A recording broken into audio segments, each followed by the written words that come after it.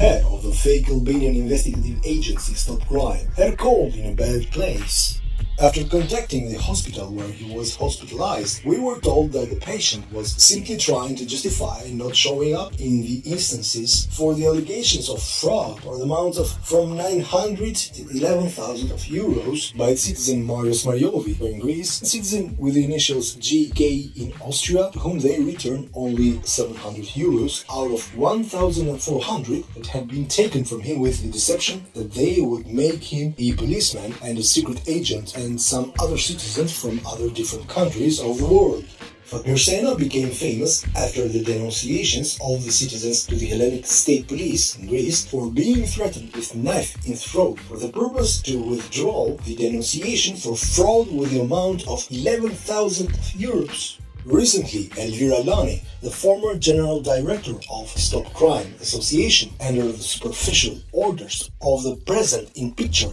Albanian Fatmir Sena, later on replaced by another female protagonist of sexual scandals in public places, filmed by the security cameras of a supermarket. Albanian citizen Heroina Kristo Ruçi, the successor of Elvira Lani, who was actually arrested and tried by the Albanian criminal court for the criminal offense of repeated fraud with various amounts of money, trying to present herself as a representative of a CIA and FBI equivalent agency that actually is registered in Albania as an NGO, which despite appearing in the Albanian state registered as an NGO, finds the courage to appear in the well-known media presenting itself as an international genuine investigative agency equivalent to the CIA, FBI and KGB. But why all this fuss with pretending to be CIA and FBI agents with an NGO office based in the well-known woodland area of the Roma nationality Albanians in Allias Ara in Tirana, the capital of Albania?